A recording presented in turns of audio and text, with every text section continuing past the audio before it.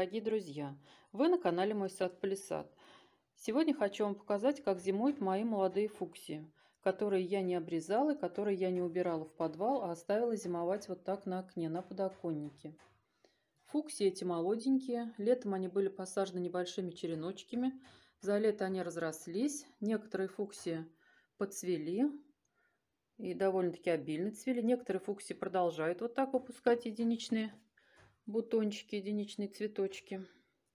А в основном все фуксии сейчас находятся в стадии покоя. Фуксии я не стала обрезать по той причине, что стволики их не одревеснели. Они были мягкие, зеленые. И если их обрезать и убрать в подвал в таком состоянии, то фуксии будут обречены на верную погибель. Они не перезимуют. А вот так на окне они сейчас находятся в стадии покоя, сильно не растут, и они, у них есть большая вероятность, что все будет нормально к началу следующего сезона.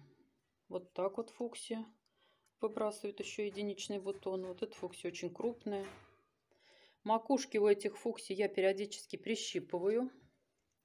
Не даю им тянуться. Вот прищипнутая макушечка. Оставляю 2-3 пары листочков и прищипываю. Если мне нужны черенки, то я Сейчас с них беру черенки и ставлю на укоренение. Об этом будет отдельное видео. Где-то в феврале месяце, в конце, наверное, февраля месяца я буду смотреть, э, брать каждый горшочек с фуксией и буду смотреть, что с ним сделать. Буду делать примерно на одну треть обрезку кустиков, делать их более коротенькими, низенькими, чтобы шли молодые побеги и кустик, чтобы был более пышным. Буду делать формирующую обрезку у этих фуксий. Полностью, конечно, срезать не буду. И наполовину даже срезать не буду. А вот срежу где-то примерно одну треть от кустиков.